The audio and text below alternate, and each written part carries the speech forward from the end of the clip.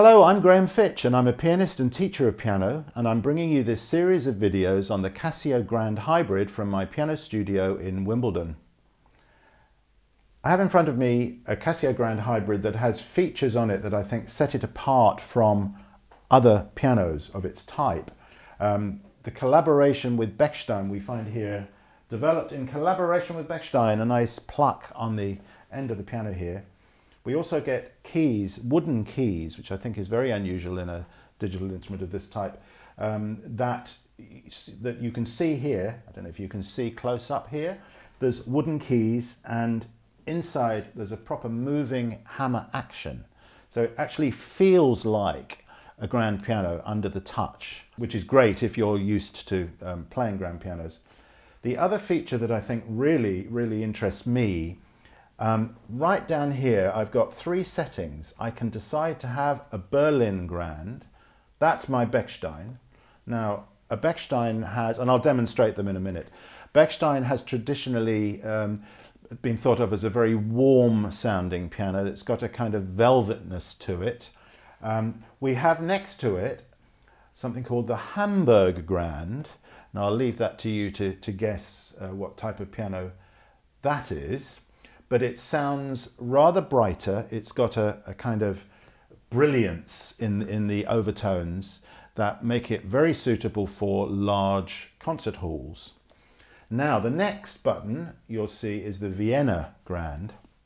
Now, the Viennese piano traditionally um, has a really clear sound. You'll hear every single um, nuance come through, but with great clarity and transparency. So, you know, if you're preparing for a recital somewhere or exam and you just want to get as many different uh, types of, of piano uh, experience, then here you have it. And you can change the touch weight and various other things that you can do um, in the controls there to, to make the pianos sound and feel rather different each time. What I'm going to do is demonstrate each one of them, starting off with the Berlin Grand and I'm going to take a little snippet uh, of a Chopin nocturne so you can hear it on each of the three settings.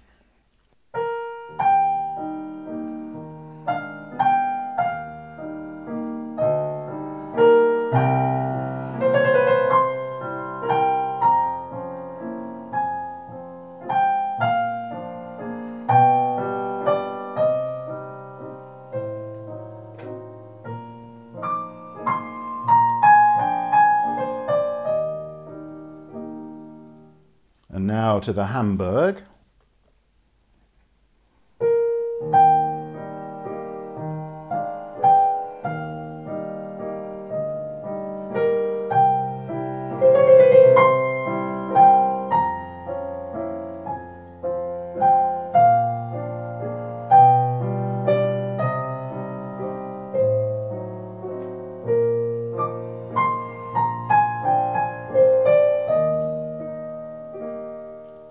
And finally to the Vienna.